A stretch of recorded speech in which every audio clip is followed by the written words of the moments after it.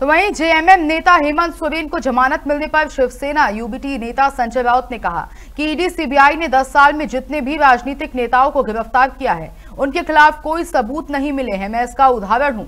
अनिल देशमुख के खिलाफ कोई सबूत नहीं है। केजरीवाल जी को पकड़ा है। कोर्ट ने कहा कि उनके खिलाफ भी कोई सबूत नहीं है। आप उन्हें परेशान कर रहे हैं। हेमंत सोरेन के बारे में भी यही कहा गया इस देश की एजेंसी मोदी शाह की प्राइवेट एजेंसी बन गई है। हेमंत सोरेन बेकसूर थे। ईडी और सीबीआई ने 10 साल में जितने भी पॉलिटिकल लीडर्स को अरेस्ट किया है, वो किसी के खिलाफ कोई एविडेंस नहीं मिला है। मैं उदाहरण हूँ। मुझे पकड़ा था, कोर्ट ने कहा, उनका क्या समझ, उनके पास अगेंस्ट कोई एविडेंस नहीं है। अनिल देशमुख के खिलाफ कोई एविडेंस नहीं है। केजरीवाल जी को पकड़ा है, लेकिन ईडी कोर्ट ने कहा उनके खिलाफ कोई एविडेंस नहीं है।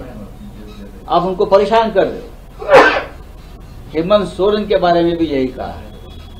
लेकिन इस देश की एजेंसी मोदी और शाह की प्राइवेट एजेंसी बन गई है। और वो उनके इशारे पर उनके विरोधियों को